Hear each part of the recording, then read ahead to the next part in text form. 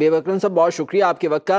आ, ये भी कहा जा रहा है कि इलेक्शन एक्ट के तहत आरओ और डीआरओ इलेक्शन कमीशन के मातहत होते हैं जबकि कमिश्नर का इलेक्शन के पूरे अमल में कुछ लेना देना ही नहीं होता। ऐसे में फिर इस स्टेटमेंट की अहमियत क्या है सर? स्टेटमेंट की कोई अहमियत बाकी बची है? उसकी वजह यह है कि कमिश्नर जो है वो किसी भी डिवीज़न का सबसे बड़ा निगरान होता है सूबाई हुकूमत की तरफ़ से। अगरचे उसका बरह रास्त इलेक्शन में किरदार ना भी हो तो तमाम तर चीज़ों से इलेक्शन की अरेंजमेंट में उसका बड़ा इंपॉर्टेंट किरदार होता है और उसके पास वो किसी भी डिवीज़न का इतना सीनियर अफसर होता है कि तमाम लोग उसके पास आके अपनी शिकायत का भी कभी इजहार करते हैं और कभी अपनी, अपने ऊपर पड़ने वाले दबाव का भी और वो इनका मुकाबला भी करता है। इस इलेक्शन में बहुत सारे ऐसे लोग मौजूद हैं ये मैं आपको बिल्कुल अपनी इतला की बुनियाद पर बता रहा हूँ कि जहाँ मुख्तलिफ़ डिविजनल कमिश्नर्स ने अपने आर को कहा कि आप बिल्कुल वो काम करें सारा प्रेशर मुझ पे आने दें आप वो काम करें जो कानून के मुताबिक है। और वहाँ पे रिज़ल्ट जो है वो कुछ और रहे। तो इलेक्शन कमीशन दूसरी बात यह है कि इलेक्शन कमीशन इस पूरे मामले में एक फ्रीक बना हुआ है। तो इलेक्शन कमीशन के ऊपर तो बड़ा मुतयन इल्ज़ाम है और ये इल्ज़ाम सिर्फ़ आ, सिर्फ़ लियाकत चट्टा ने नहीं लगाया। ये इल्ज़ाम तो मौलाना फजलरहमान भी लगा चुके हैं। ये इल्ज़ाम तो जी की तरफ़ से भी लगाया जा रहा है। तो जब इस तरह के इल्ज़ाम एक तवातुर से लगाए जा रहे हैं तो चीफ इलेक्शन कमिश्नर साहब की मतलब डेफिनेटली ये सब हो सकता है झूठ हो।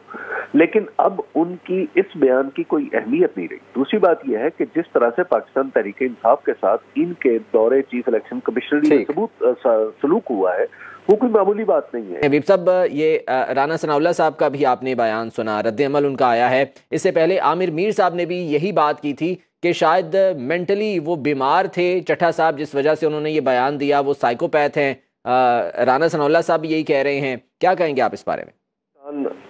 हमेशा इसी तरह ही होता है कि जब पाकिस्तान में कुछ सच आवाज़ उठाता है या दुनिया के किसी भी मुल्क में जब पूरी हकीकत बयान की जाती है तो बहुत सारे लोग उस आँखों देखी हकीकत को झुटलाने के लिए मैदान में आ जाते हैं। ये अंधों के शहर में अगर आपके पास आँखें हैं तो आपके मुजरिम होने में कुछ शक है तो इस वक्त सूरत हाल ये है कि एक बात जो इलेक्शन के ऊपर जो सवालिया निशान है, वो सिर्फ़ लियाकत अली चट्टा साहब नहीं उठा रहे लियाकत अली चट्ठा साहब ने अब तक जितने सवाल उठाए, उसमें सबसे ताकतवर सवाल इनका इनका है।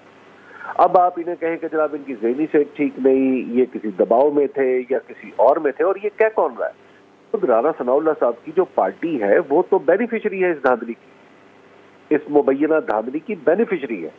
जो रावलपिंडी में जिन लोगों को जितवाया गया है, वो सारे के सारे पाकिस्तान मुस्लिम लीग नून से ताल्लुक वो कोई और तो नहीं है।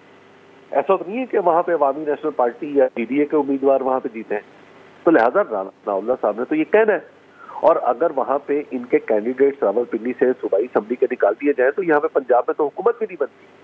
तो इस वजह से ये तो अपनी पॉलिटिकल जो गेम्स हैं, इस मशकूक जो इलेक्शन है, उससे जो ट्रांजैक्शन हुई है इस मशकूक इलेक्शन की ट्रांजैक्शन से जो खुद राना सलाउल साहब, वो तो बेनिफिशियरी तो लिहाजा उनकी बात, वो, उन्हें तो फरीक बनना नहीं चाहिए। और फिर आप जरा देखिए कि हमारी निगरान गवर्नमेंट कैसे फरीक बन सकती है?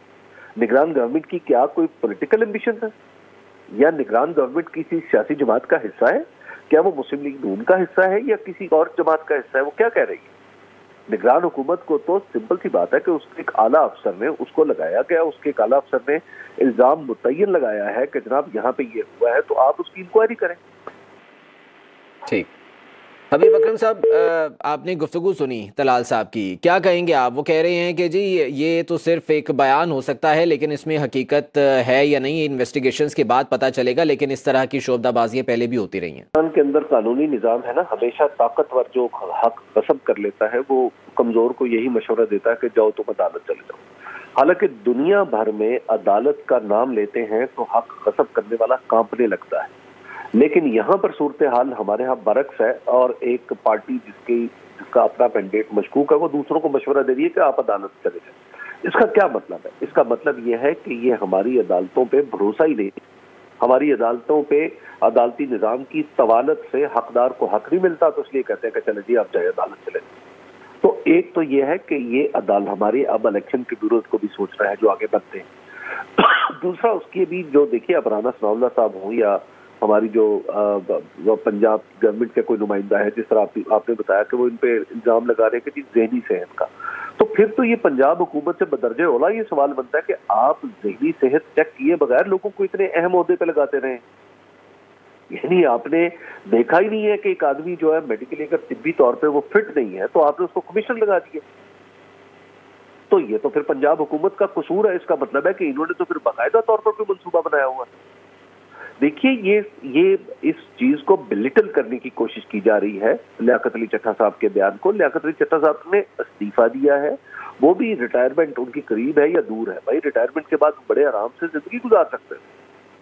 लेकिन उन्होंने एक पूरी मुश्किल को इनवाइट कर लिया है। अब लोग उनका मज़ाक उड़ा रहे हैं जैसे को, कोई कहेगा उनकी सेहत ठीक नहीं थी। कोई कहेगा वो, उन्होंने खुदकुशी की, कोशिश की थी तो इसलिए परेशान थे। वो, कोई कहेगा उनकी घरेलू परेशानी थी, कोई कहेगा उनका कोई कोई उनको गिनती भूल गई थी। ये बात नहीं है। उनके इल्ज़ाम मुतयन है, उन्होंने कमिश्नर की हैसियत में ये इल्ज़ाम लगाए। तो आपने कमिश्नर की हैसियत को देखना है, ना कि लियाकत अली चट्टा साहब की जहनी सेहत को जांचने की इस तरह कोशिश शुरू कर दी जाए।